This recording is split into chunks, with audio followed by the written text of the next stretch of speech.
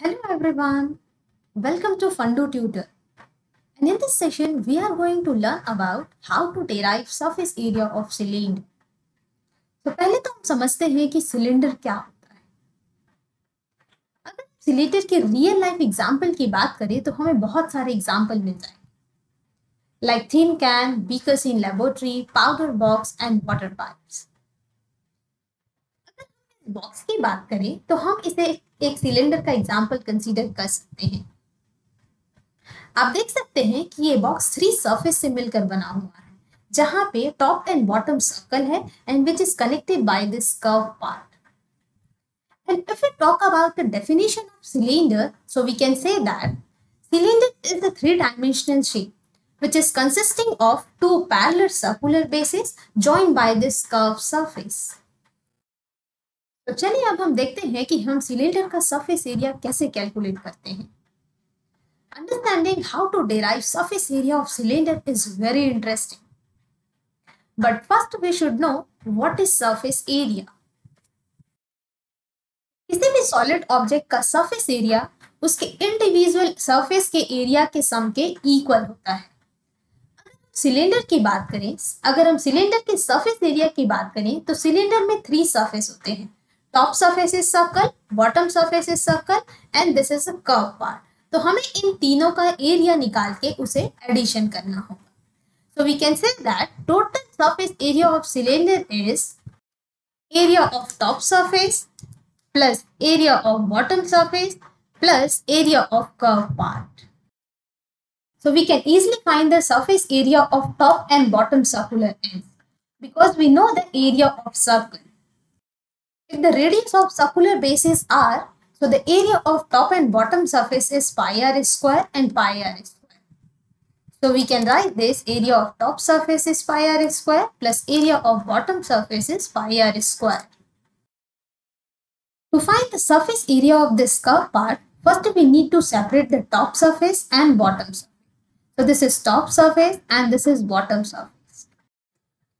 To understand the curved surface area of cylinder, first we need to cut this cylinder vertically and open it. After opening it, first it will look like this. And when it's opened up further, then it will look like this. So how does it look like? क्या यह एक rectangle है yes it's a rectangle so curve part of cylinder is nothing but it's a rectangle अब आप सोच रहे होंगे कि इस रेक्टेंगल का लेंथ एंड ब्रेथ क्या है? If you look carefully this figure you will notice the length of this rectangle is actually the circumference of this cylinder and breadth is nothing but it's a height of this cylinder चलिए हम अभी से एक बार फिर से समझते हैं। Cylinder को वर्टिकली कट करके ओपन करते हैं। आप शायद ऑब्ज़र्व कर पा रहे होंगे कि ये सर्कमफेरेंस से इस रेक्टेंगल का लेंथ बन जा रहा है।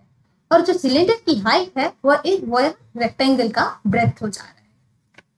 तो we can say that length of this rectangle is two pi R अगर सिलेंडर की हाइट एच है तो हम क्या बोल सकते हैं कि इस रेक्टेंगल का ब्रेथ भी एच ही होगा। हमें पता है कि रेक्टेंगल का एरिया लेंथ इनटू ब्रेथ होता है। एंड लेंथ एंड ब्रेथ की वैल्यू हमें पता है length is two pi R and breadth is height of this cylinder So we can write this area of this curve part is 2 pi r into h. So pi r square plus pi r square. So after adding this two like term, we'll get 2 pi r square plus 2 pi r h. So 2 pi r is common in this both term. So we'll take 2 pi r common. Then remaining term is r plus h. So this is the formula of surface area of cylinder. If the height of cylinder and the radius of base is given, so by using this formula, we can easily find the surface area of cylinder. If you have any doubt or query related to this topic, please let us know in the comment below. We will try to provide solution as soon as possible.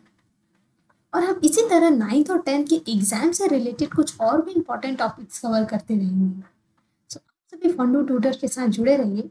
मिलते हैं next session में और भी कुछ important topics के साथ। Till then bye bye and be safe